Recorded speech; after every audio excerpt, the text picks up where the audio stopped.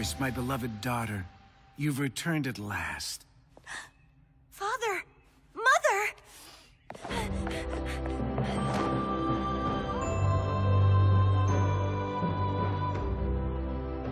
You don't know how long I've waited for this moment. We owe you an immense debt of gratitude, Ellira, for keeping our dear Iris safe all these years.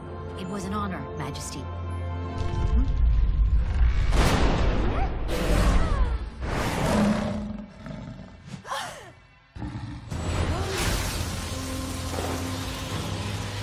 Praxina? Is that you?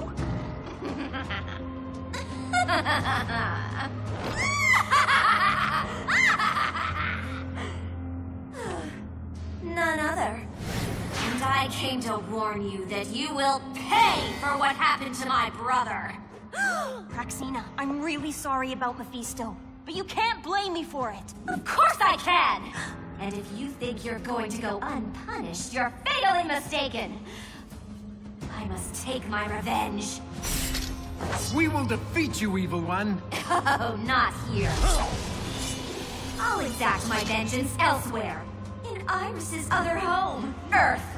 No! You can't! Just watch me!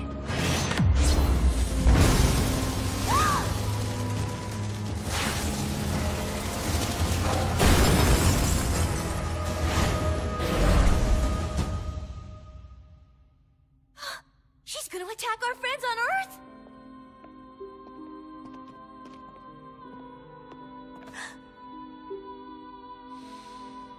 Your destiny could not be any clearer.